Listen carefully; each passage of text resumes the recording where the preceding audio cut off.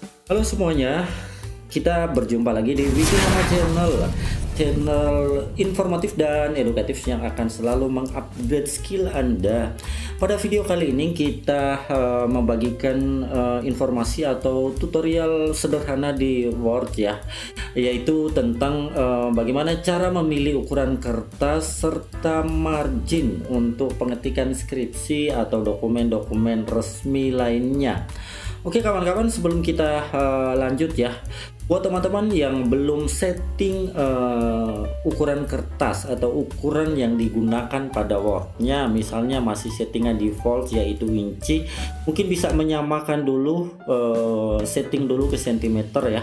Kalau teman-teman belum tahu cara settingnya bisa lihat di video saya sebelumnya yaitu cara setting uh, atau merubah uh, satuan dari inci ke sentimeter di Word ya. Kenapa? Karena ketika teman-teman melakukan pengetikan atau bicara tentang margin kebanyakan orang uh, langsung um, memahami bahwa itu adalah sentimeter. Misalnya uh, marginnya 4433 ya. Itu berarti yang uh, satuan ukuran yang digunakan adalah sentimeter. Jadi kalau teman-teman uh, masih uh, memiliki settingan dalam bentuk satuan inci maka hasilnya pasti beda sekali. Oke uh, kawan kita langsung Nah, untuk pengetikan uh, skripsi ataupun dokumen uh, yang lainnya uh, bisa kita menggunakan kertas A4 ya. Dan kebanyakan orang menggunakan itu ya A4 caranya teman-teman masuk ke apa ya file terus pilih print di sini.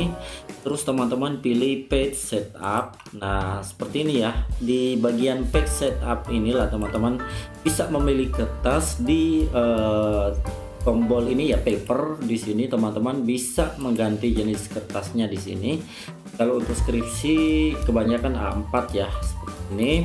Terus uh, untuk marginnya teman-teman bisa pilih di margin. Nah di sini teman-teman ya untuk uh, uh, dokumen resmi seperti skripsi ya kebanyakan menggunakan 44 uh, batas atasnya 4 batas bawahnya 4 eh batas kirinya 4 terus batas bawahnya 3 batas uh, kanannya 3 ya atau top 4 bottom 3 left 3 eh leftnya 4 terus uh, rightnya 3 cm nanti hasilnya seperti bagian bawah ini ataupun pada ketikan saya ini juga uh, hasilnya ya karena ini saya setting menggunakan uh, margin 4433 Oke teman-teman kalau sudah disetting teman-teman bisa memilih Oke jika settingan yang Anda gunakan hendak diterapkan hanya untuk dokumen ini ya.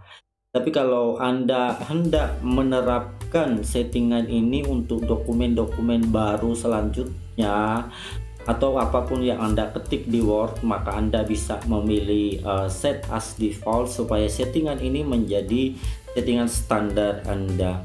Oke kawan-kawan uh, kalau sudah kita pilih oke OK dan dengan demikian maka uh, jenis kertas serta margin Anda untuk skripsi Anda sudah diatur ya. Tapi untuk margin kembali lagi ya ke aturan internal kampus atau arahan dari pembimbing tentunya ya.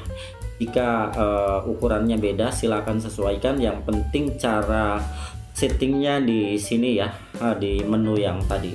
Oke kawan uh, ini saja informasi yang bisa saya bagikan pada kesempatan kali ini. Semoga bermanfaat dan buat rekan-rekan yang baru join atau menemukan channel ini mohon supportnya ya dengan cara tekan tombol like subscribe serta nyalakan tanda loncengnya sehingga anda selalu terhubung dengan channel ini.